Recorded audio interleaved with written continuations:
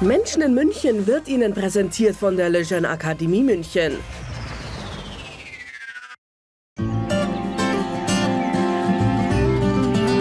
Menschen in München mit Jörg van Hofen. Willkommen, liebe Zuschauer, zu Menschen in München. Heute geht es um Kunst und ich freue mich ganz doll darauf, mit Christina Gallmetzer, die aus Südtirol stammt, über Kunst zu reden, weil Sie haben ja ein tolles Projekt ähm, gestartet. Ähm, erzählen Sie mir von dem Projekt, worum geht es da? Also das Projekt ist eine Porträtserie von Frauen unserer Gesellschaft. Also die Idee ist einfach entstanden beim Biergartentreff mit einem befreundeten Kunsthistoriker. Und wir waren so am Überlegen, was, was jetzt in der Kunst eigentlich so passiert. Und ich habe gesagt, ich mache gerade so ein Porträt. Ich finde einfach, es ist an der Zeit, dass Frauen mehr Sichtbarkeit kriegen in der Malerei. So, so ist diese Idee entstanden von der einen Seite her. Und da sagte er, ja, ist eigentlich wahr. Es gibt Porträts im Laufe der Jahrhunderte von vielen, vielen Frauen. Meistens waren das aber entweder die Musen der, der Maler oder der Künstler gewesen oder Königinnen, Regentinnen, die dann so in Lebensgröße dastanden. Oder Mutter Maria, die ihr Jesuskind hält, nicht? Ein auch oft ja, äh, zitiertes. Ja. Nicht äh, vielleicht unbedingt in Lebensgröße. Das ist ja so eher, ah. weil es ja sehr, sehr teuer war früher auch, sich solche Bilder machen zu lassen. Deshalb war das immer so ein bisschen reduziert in der Größe. Und ich glaube einfach so, Frauen sollten eine bestimmte Sichtbarkeit bekommen. Es gibt so viele tolle Frauen jetzt bei uns. Passt natürlich auch in das Jahr 2019, 100 Jahre Wahlrecht für Frauen. Also dadurch ähm, kann man natürlich dieses Thema auch wunderbar thematisieren. Ja. Ähm, wie haben Sie denn ähm, die Menschen oder die Frauen ausgesucht, die Sie jetzt porträtieren? Das ist ein guter Punkt. Also erstens ist es so, dass es über schon über persönliche Beziehungen geht. Also man spricht ja mit Menschen dann darüber, was, was man so macht. Und es ist interessant, wie die Leute darauf reagieren und die sagen, ah, das finde ich cool und da wüsste ich jemand. Und so ist jetzt eigentlich das erste Porträt entstanden. Das ging über eine befreundete Medizinerin und die sagte, ich kenne da jemanden und das war so der Ansatz. Und dann dachte ich mir, aber wie kann ich denn solche Porträts jetzt verbinden? Und ähm, da habe ich auch eine ganz tolle Frau kennengelernt, eine Schweizerin. Ähm, ich weiß nicht, ob man den Namen nennen darf. Ja, das, darf ja, das ist Frau Nicole Brandes, die ist Coach und die habe ich im Roman-Herzogs-Institut kennengelernt bei einem Vortrag so über Zukunft. Und wir haben uns dann überlegt, wie sollte man Frauen charakterisieren? Und ich, da sind wir zu dem Punkt gekommen, so vier Cs. Also die sollen charaktervoll sein, charismatisch, also eine Ausstrahlung haben, couragiert, aber auch charmant. Also es ist ja auch so, dass man es meistens noch ähm, Frauen anhaftet, die gut aussehen, dass die vielleicht nicht so viel drauf haben, aber das möchte ich gerne so in der Kunst jetzt widerlegen. Ja, und wir können ja auch gleich mal sagen, wen Sie da sich ausgesucht haben, nämlich ja. die Frau Professor Dr. Marion Kichle. Ja, das war echt unglaublich. Ja. Mhm. Die ähm, natürlich auch in der Politik eine Rolle gespielt hat, eine ja. kurze Rolle jetzt als Ministerin, ja. ähm, die aber jetzt in dem neuen, ähm, ja, in, in, der neuen Auswahl von, von Söder nicht mehr ihr Ministerium bekommen hat, aber natürlich ähm, in, in der Medizin eine, eine, eine sehr große und wichtige Rolle spielt nach wie vor. Absolut, ja. Ähm, jetzt wie, wie porträtiert man eine solche Frau? Das war die Frage. Also wir, wir haben uns ja getroffen und überlegt, ähm, was uns beiden wichtig ist. Und es war so, dass wir tatsächlich nicht das Politische in den Vordergrund stellen wollten, sondern ihre Lebensaufgabe. Und ich finde das äh, unglaublich, was man so leistet, gerade in der Medizin. Und als Ärztin und Medizinerin haben wir uns überlegt, wäre es wahrscheinlich das Beste, ich porträtiere sie im OP-Outfit. Mhm. Und ähm, das hat jetzt zwar nichts damit zu tun, dass, dass die Frau an sich jetzt besonders schick dargestellt wird, sondern wirklich in ihrer Berufung und in ihrem Einsatz für die Gesellschaft. Das fand ich super. Im Arbeitsoutfit. Im sozusagen. Arbeitsoutfit und dafür haben wir uns dann auch in der Klinik getroffen. Also sie hat tatsächlich das OP-Outfit geholt. Wir haben da die Fotosession gemacht. Es ist mir eben wichtig, dass ich auch die Fotos von Anfang an mache. Und so ist das Porträt entstanden und auch so die Haltung und alles. Also ich finde, das passt sehr gut zu dieser Frau. Wir haben etwas sehr Spannendes vor, wenn wir jetzt in ihr Atelier gehen. Dann kommt nämlich auch gleich der Ehemann, der Marcel Reif. Ja, den ich auch noch nicht kenne. Das ist spannend. Ja. Sehen Sie, ich habe ja. mal ganz, ganz früher mit ihm äh, zusammengearbeitet. Das Ach, ist aber schon ewig her. Ja, aber ja. wirklich toll.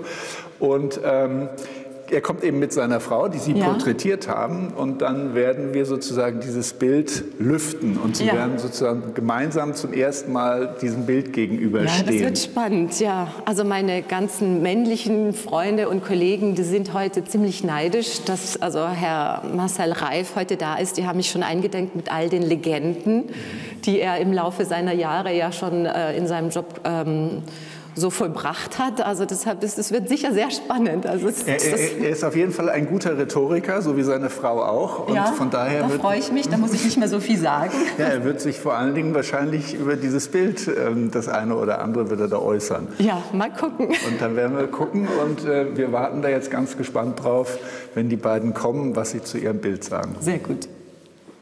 Frau Professor Dr. Kichle, Marcel Reif, Sie gehen jetzt gleich in ein Zimmer rein oder in ein Atelier, wo Ihre Frau, ähm, wo Sie porträtiert worden sind. Also ich habe mir das Bild gerade angeguckt, das ist genau in dieser Größe. Mhm. Ähm, warum haben Sie das machen lassen? Naja, ich, äh, die Frau Gallmetzer kam auf mich zu mit diesem Projekt. Äh, sie wollte tolle Frauen porträtieren und ähm, nannte dann mich, also meinen Namen, sprach mich an in einer Reihe von wirklich tollen Frauen. Da habe ich gedacht, nee, da kannst du nicht Nein sagen. Warum nicht? Ähm, äh, schmeichelt mir natürlich auch, Klar. dass sie auf mich zukam. Äh, kam. Also ich glaube, äh, Nein zu sagen war für mich keine Option. Und als sie dann nach Hause kam, nachdem sie gemalt wurde, wie, wie äh, hat es dann auf Sie gewirkt? Gab es da eine Reaktion? Sie, sie, war nicht groß verändert nach, der, nach, dem Mal. Nein, sie hat mir irgendwann mal gesagt, dass das, ich habe sie dann auch gefragt, mal, hm, ja, gut, also so bildet man Legenden. Haben Sie denn äh, schon, schon Platz bei sich in der Wohnung und im Haus äh, ausgesucht, wo Sie sich dann hinhängen werden? Also mein Mann und ich, wir sind gerade umgezogen, haben uns verkleinert in eine Stadtwohnung. Also es wird schon, ähm, wird schon knapp, aber wir haben uns schon einen Platz überlegt. Also wir hätten schon einen schönen Platz dafür. Können wir mal langsam Richtung Atelier gehen. Äh, starke Frauen und starke Männer. Äh, Hinter jeder starken Frau ist ein starker Mann. ja, aber als nächstes müssen Sie sich porträtieren lassen. Ja, mal sehen. Nein, nein, nein, nein, ist doch ist gut. Ich, ich bin stolz, doch toll, wenn jemand auf Sie zukommt und das schätzt, was Sie macht. Das passiert ja nicht einfach so, weil jemand einfach Langeweile hat. Ähm, ich komme auch noch klar ohne ein Porträt. Ähm, nein, nein, also sie hat ja das, ähm, dieses Thema starke Frauen hat sie ja ähm, sozusagen zu ihrem Steckenpferd gemacht. Ähm, passt natürlich ganz gut. 100 Jahre Frauenwahlrecht ähm, ist natürlich eine Sache, die jetzt auch in diesem Jahr ähm, stark diskutiert wird. Ähm, in Ihrem Beruf, wie, wie stark sind da Frauen im Vergleich zu den Männern? Leider sind auch Frauen in der Medizin in Führungspositionen nach wie vor unterrepräsentiert. Ähm, wir haben ja jetzt lange gewartet in der Medizin, in der Hoffnung, dass es besser wird, weil es gibt im Nachwuchs sehr, sehr viele Frauen, sogar viel mehr Frauen als Männer. Medizinstudierende, fast 70 Prozent Frauen, aber wie gesagt, nach oben wird die Luft dünn. Äh, meine Meinung ist, wir brauchen kurzfristig, wie in der Politik auch oder in anderen Bereichen, ähm, eine Quote. Ansonsten geht es nicht. Also wir brauchen Zielgrößen, wir brauchen Gesetze. Und man hat es jetzt eigentlich ja auch gesehen mit diesem Frauengesetz für die DAX-Vorstände. Es hat wunderbar funktioniert. Die Aufsichtsräte äh, in Deutschland sind jetzt mit mehr als 30 Prozent mit Frauen besetzt. Herr Reif, wir müssen gleich darüber reden, wie das im, äh, bei der Sportmoderation aussieht. Denn da hatten wir im letzten Jahr auch das eine oder andere Problem. Aber lassen wir uns doch erstmal, lassen Sie uns hier reingehen und ähm, uns von dem Bild begeistern. Hallo, Hallo. Schön, dass Sie da sind. Hallo, willkommen. Hallo, ich freue mich sehr. Willkommen im Atelier. So, spannend. Genau. Ähm, ja, also wir. Hat es noch nie gesehen. Hat es noch nie gesehen, Nein. genau. Jetzt müssen Auch kein Foto davon. Das Foto schon, aus aber Distanz. aus der Distanz, aber in live Foto, Foto. Ja, dann machen wir jetzt gleich mal den Aha-Effekt, oder? Ja, ja, wollen wir das so machen? Gut, dann würde ich vorschlagen, Sie stellen sich so in die Mitte. Sollen wir das Licht anlassen jetzt gerade? Ja, lassen ja? wir. Gut. Das ist, glaube ich, ganz gut. Und dann so, das Bild hängt hier, also wenn es sich einfach so hinstellt, ist es verhüllt.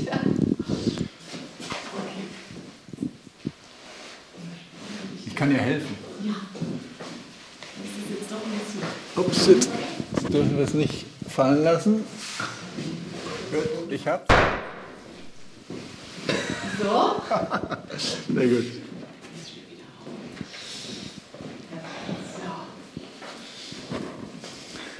Jetzt müssen wir erstmal Herrn Reif fragen. Sie sind derjenige, der es noch gar nicht so. Nee. Toll. Schon beeindruckend. Ja, gefällt mir. Ja, ja, ja. ja. Mir sehr gut. Vor allen Dingen finde ich es auch gut, weil es sozusagen in ihrer Arbeitskleidung auch ist. Ja? Also da wird nicht irgendwie jemand gezeigt mit vielen Perlenketten und, und äh, Schmuck, sondern da ist eine Frau, die, ähm, die anpackt. Ja, das bringt mein Beruf so mit sich. Ja, denke Da muss man anpacken. Ja. Ähm, wo, wo, also wo sie es hinhängen wollen, ist noch nicht ganz klar, oder? Ja, wir haben einen Platz im Flur ausgeguckt, aber ja. hast du dich vermessen. Aber das Format ist schon eine riesige Wand, die man eigentlich braucht. Wir können ja mal. Wir bauen das Dach aus. da oben. Also der Flur ist zu klein für das ja, Bild. Ja, ja, aber es ist wichtig, dass es eben in voller Größe ist. Das ist ja, so die Idee nicht, dahinter, dass wirklich die Frauen in der Malerei sichtbar sind. Das war so die, die Hauptidee dazu. Und es freut mich, dass Frau Dr. Kichle-Saro die erste ist in dieser Serie.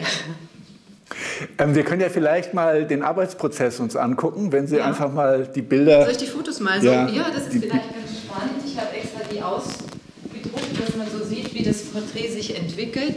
Es ist ja Öl- und Eitempera auf Leinwand. Eitempera deshalb, weil, ich lege das mal hier so auf den Boden, weil es dann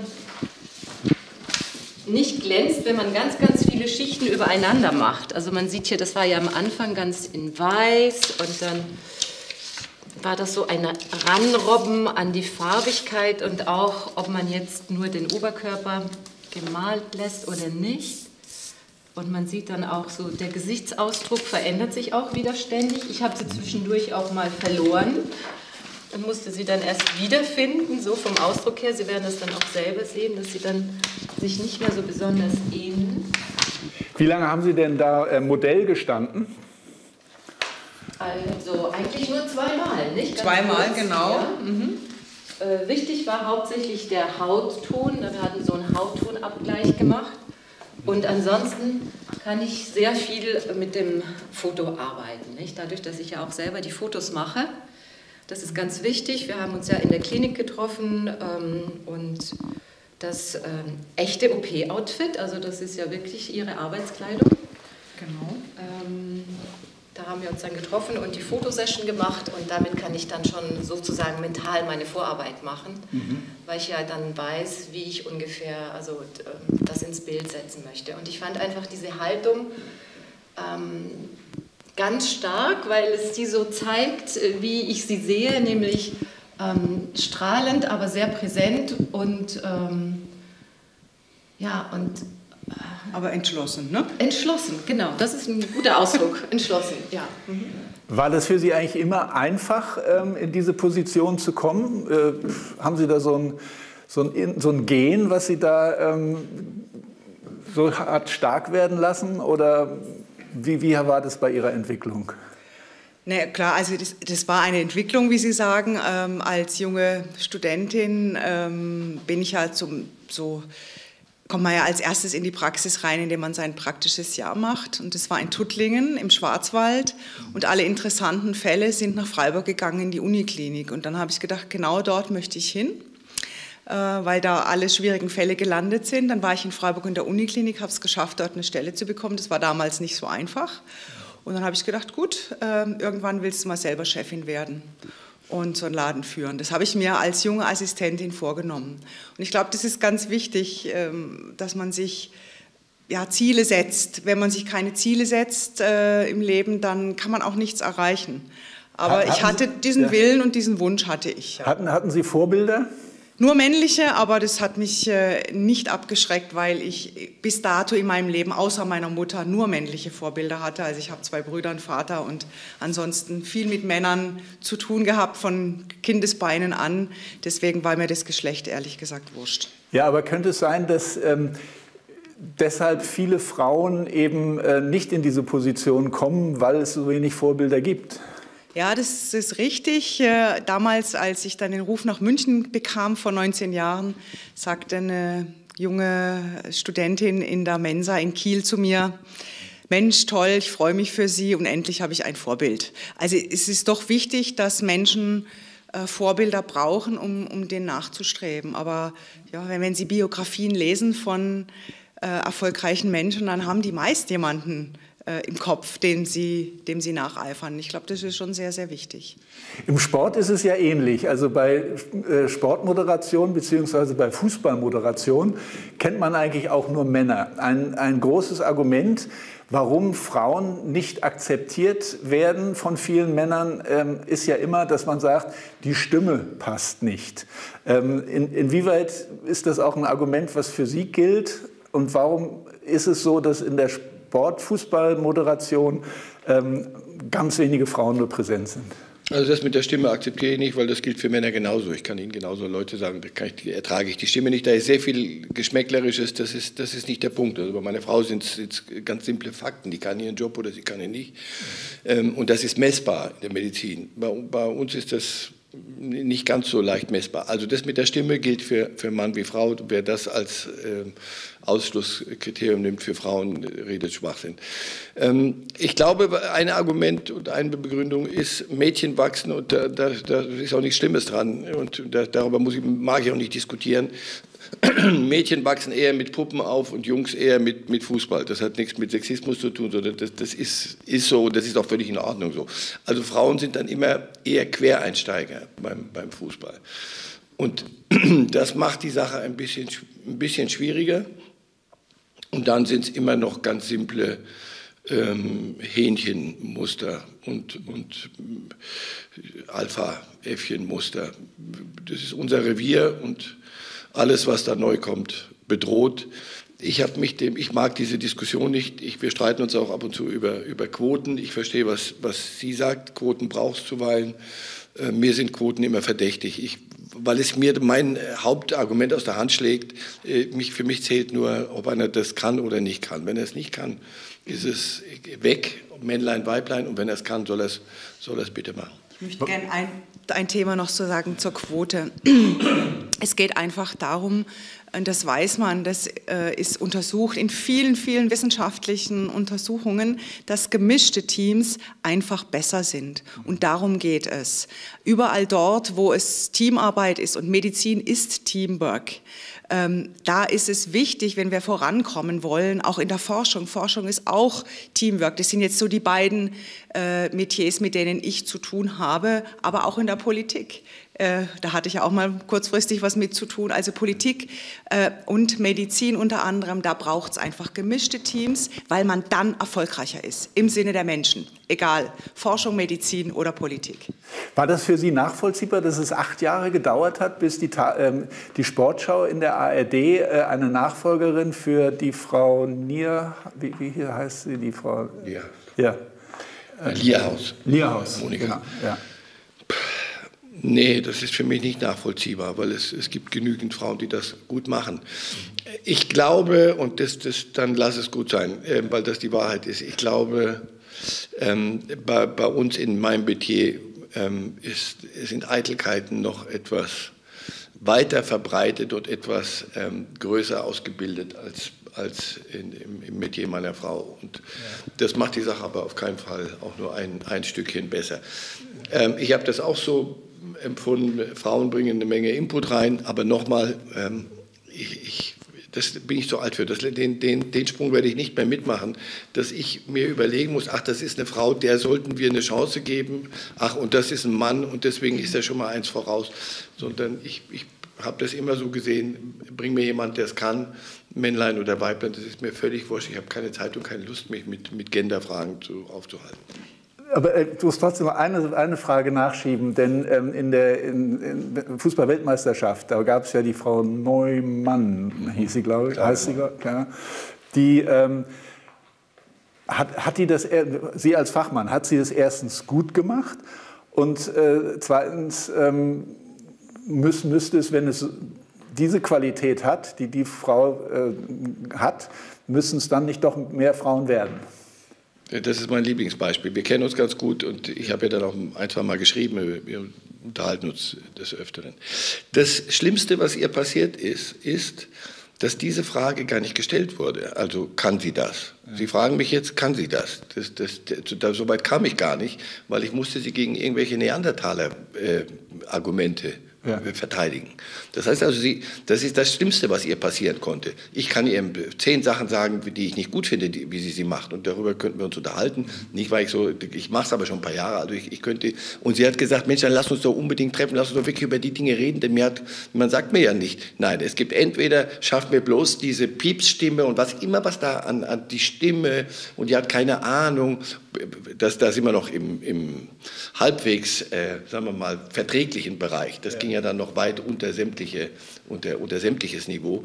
Ähm, die sagt, niemand hat, mir, hat mit mir konkret über meine Arbeit geredet. Und das weiß ich, dass das wichtig ist. Das war mir immer wichtig, dass mir jemand kam und sagte, hör zu, das machst du gut, das machst du nicht gut, mach das besser.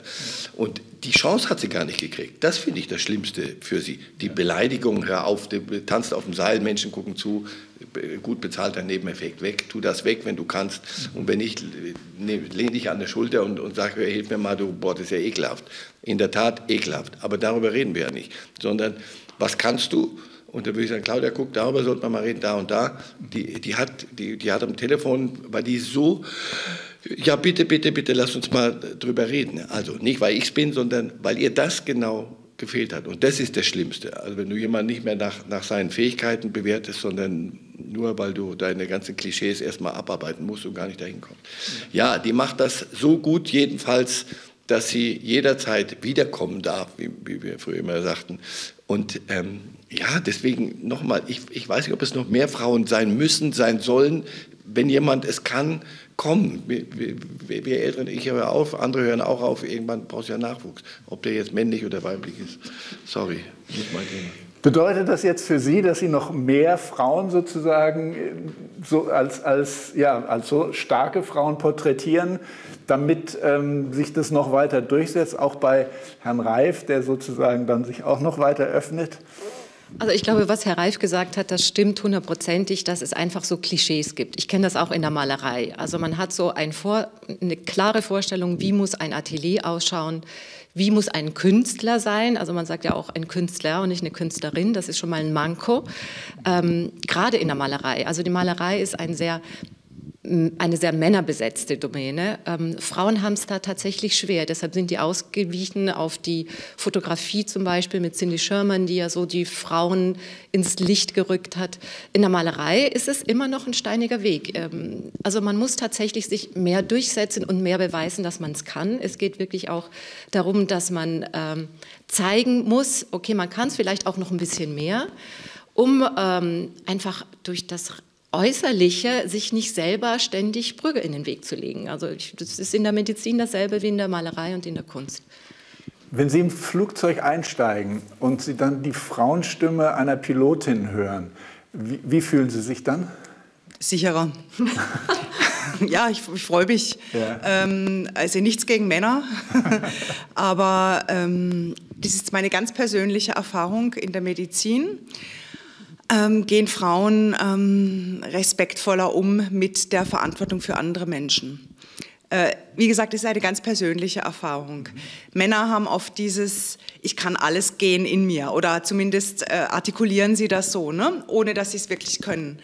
Aus meiner Erfahrung sind Frauen da sehr, sehr viel zurückhaltender. Die geben nur zu, das, was sie auch wirklich können. Und ich denke, wenn da vorne eine Pilotin sitzt, äh, die macht auch wirklich nur das, was sie kann. Ähm, das, äh, wie gesagt, nicht gilt nicht für alle, ja, ja. aber Nein, es ist mein ganz persönliches Empfinden und ja. entstanden durch meine Erfahrungen mit Männern und Frauen in meinem Berufsleben. Weil es eben auch Frauen gibt, die sich dann ganz unsicher fühlen, wenn sie eine die Frauenstimme geben, genau, hören. Die geben, aber die, ja. ja. aber Frauen, wenn sie irgendwas nicht können, geben das zu. Ich habe nie eine Frau erlebt, also zumindest in der Medizin, ähm, die gesagt hat, ja, ja, die, das kann ich und hat sich dann dahingestellt und es hat sich dann herausgestellt, sie kann es nicht und hat dann versagt. Bei Männern erlebt man das sehr viel öfter. Frauen äh, kennen ihre Grenzen, Männer kennen sie wahrscheinlich auch, aber zum Unterschied äh, artikulieren die Frauen das auch und stehen auch dazu und sagen, nee, das muss ich erst noch lernen.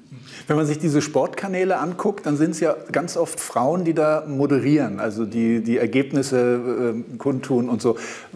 Woran liegt es Ihrer Meinung nach, dass da, dass da keine Männer sitzen? Das nächste Klischee, weil ich, ich mache das ja schon ein paar Jahre. Die, die Welle wurde dann irgendwann mal losgetreten. Also los her mit Frauen. In anderen Ländern ist das noch viel, viel ähm, verbreiteter und nicht zum, zum Wohle ähm, dieser, dieser Diskussion, mhm. sondern ähm, blond, hohe Schuhe, alle Klischees, die, die ich so brauche und dann so mehr Nummerngirl. Ähm, Attitüde, was ich jämmerlich finde. Aber so nicht, nichts gegen Frauen auf hohen Schuhen und, und, und hübsch, das ist alles nicht das Thema. Ähm, ich glaube, dass da ist das mal irgendwann mal umgekippt. Bei mir, bei meinem Sender, bei dem ich lange Zeit gearbeitet habe, bei Sky gab es irgendwann mal Montagabends Zweitligaspiele, da hat eine Frau kommentiert, eine Frau moderiert und eine Frau die, die Fragen gestellt. Daraufhin habe ich am nächsten Tag gesagt, mal, ihr wisst schon, dass das Sexismus ist, was ihr da macht. Das ist Unsinn, weil ihr, weil ihr niemandem hilft ihr, ihr wollt jetzt etwas äh, zwingen offensichtlich und so pushen und schafft nur Argumente für, für die Dummbeutel, die sagen, das ist ein Weibersender, was, was Unsinn ist. Jede von denen konnte ihren Job, aber wenn du das so massiert machst, bedienst du wieder andere Klischees oder wächst irgendwelche Reflexe, die, die, die der Sache überhaupt nicht gut tun. Also Frauen sind, sind nicht nur Nummerngirls, ähm, Männer können, können genauso nach, die, die Ergebnisse verlesen, Frauen können genauso kommentieren, wenn sie es können. Alles immer nur per Kranz.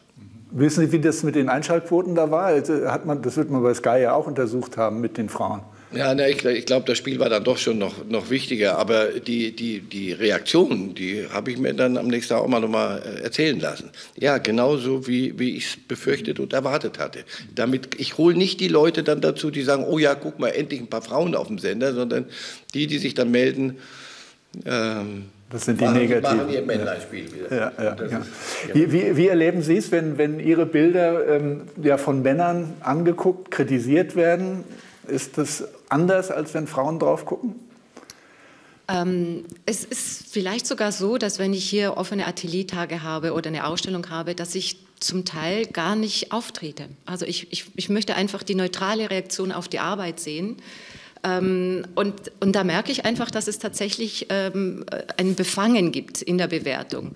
Und ähm, ich weiß bei meiner aller, allerersten Ausstellung, da kam ein Trupp an Männern, also die kamen wirklich in der Gruppe an und sagten, ähm, wenn du noch weiterhin tätig bist, dann werden wir Schritte gegen dich unternehmen. Also das war so ein, ein Gebalze in diesem kleinen Rahmen dass man sich schon also auch behaupten musste. Also da war ich anfänglich auch ganz schön erstaunt. Wie, das hört sich ja an wie Mafia. Warum, warum haben die das gemacht? Ähm, es, weil die Malerei einfach ein sehr klein gesteckter Rahmen ist. Nicht? Und ähm, wenn man da mitspielen möchte, in diesem, ich sage auch Männerclub, dann... Äh, äh, ist man irgendwie so ein Konkurrent, eindeutig. Also es gibt sehr viel Konkurrenzdenken in der Malerei.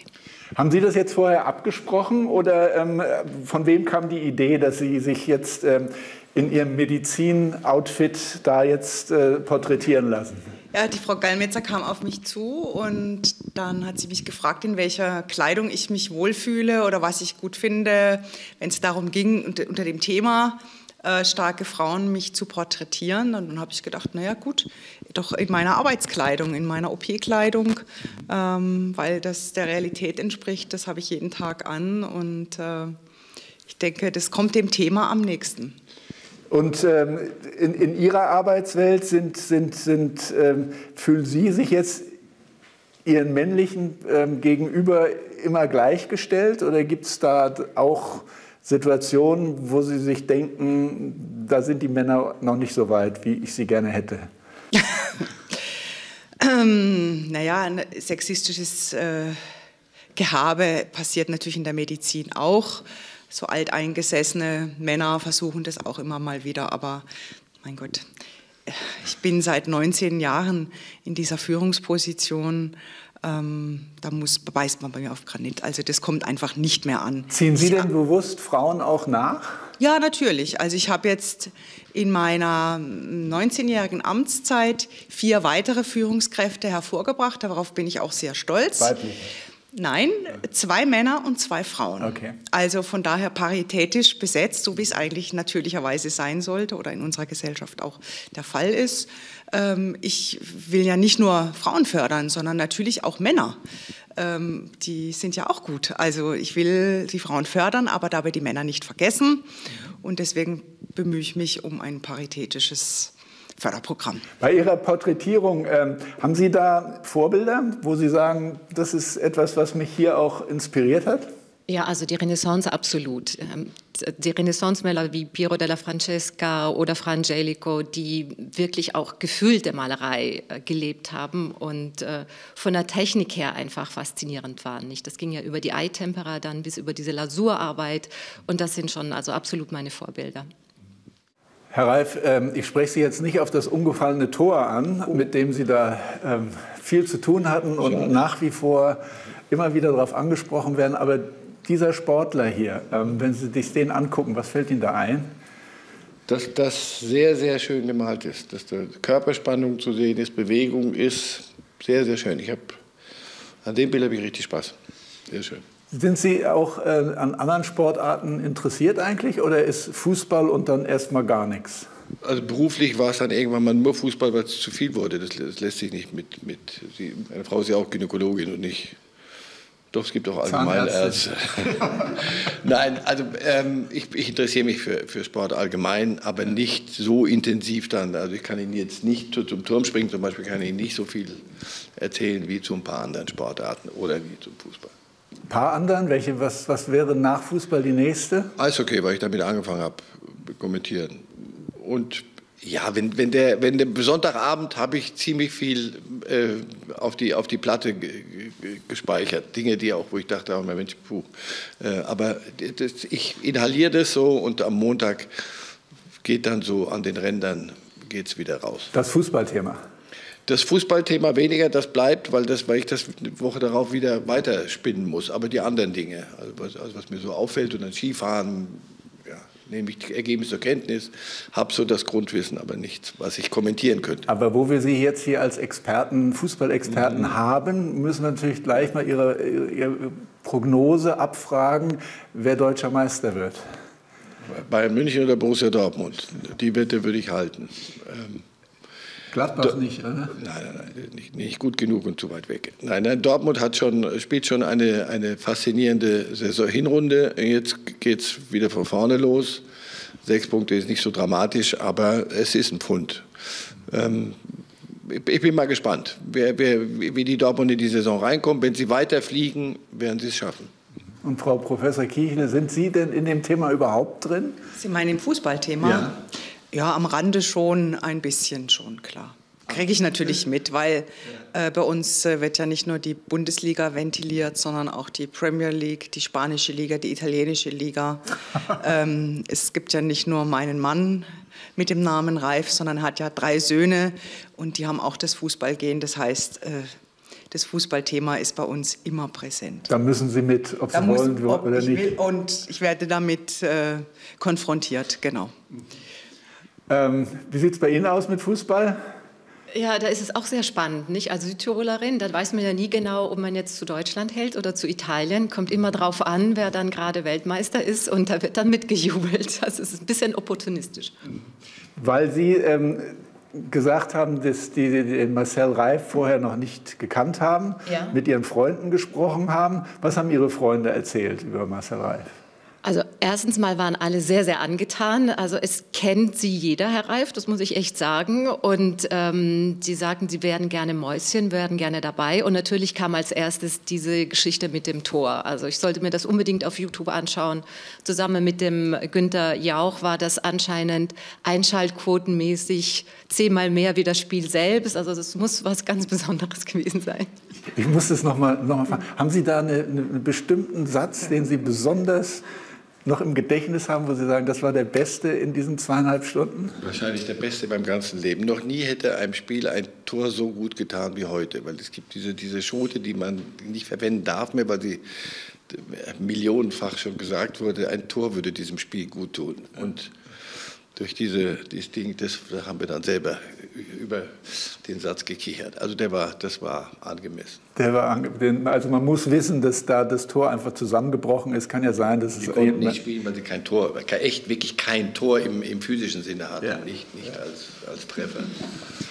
Würden Sie das nochmal mit sich machen lassen, ein, ein solches Bild von sich malen lassen? Ja klar, äh, Frau Gallmetzer hat es ja auch wahnsinnig angenehm gestaltet. Also ich musste dann nicht stundenlang, tagelang Modell sitzen, sondern oder stehen, genau, sondern wir haben uns zweimal getroffen. Äh, das braucht natürlich auch seine Zeit, aber sie hat die Fotos gemacht und dann an den Fotos gearbeitet. Das ist für ein Modell natürlich auch sehr angenehm und wenn man dann auch noch so ein tolles Ergebnis sieht, ähm, ist es sehr erfreulich und ja, ich würde es jederzeit wieder tun. Okay, starke Frauen bleibt ein Thema von Ihnen. Absolut. Wer soll es denn als nächstes werden? Also drei Frauen sind schon in der Warteliste sozusagen. Das ist einmal Frau Bea Knecht, das ist eine ganz tolle Unternehmerin aus der Schweiz. Und die dritte Frau ist Jana Gallus, Professor Jana Gallus, die unterrichtet in Berkeley an der University, war vorher Modell und hat jetzt Drillinge bekommen. Also auch sehr spannend. Ich könnte mir vorstellen, dass der eine oder andere, der das jetzt sieht, Ihr Bild und unser Gespräch, dass dann jemand auf Sie zukommt und sagt, entweder mal mich selber oder ich kenne da jemand, der es auch verdient hätte. Wie würden Sie damit umgehen? Ja, ich würde mich wahnsinnig darüber freuen, weil ich denke, das ist auch Teil dieses Projektes. Erstens, dass man mit Menschen ähm, in, in Austausch kommt und Frauen vielleicht kennenlernt, die im Verborgenen ganz Großes leisten. Das wäre natürlich äh, das Beste, was aus diesem Projekt da herauskommt. Muss sich natürlich auch immer finanzieren. Also wie, ja. wie, wie machen Sie das? Das ist natürlich ein guter Punkt in der Kunst und in der Malerei. Zum Teil wird es entweder privat finanziert, das heißt also die ähm, Porträtierten haben Lust, das Bild selbst zu erwerben. Und ansonsten ist man auf Sponsoring angewiesen, damit das Projekt weiterleben kann. Okay, an dieser Stelle viel Erfolg noch mit Ihren weiteren Projekten. Ihnen beiden danke ich ganz herzlich, dass Sie uns haben teilnehmen lassen, als Sie dieses Bild sozusagen zum ersten Mal gesehen haben. Und äh, viel Spaß damit. Danke. Vielen Dank. Das war Menschen in München mit Jörg von Hofen.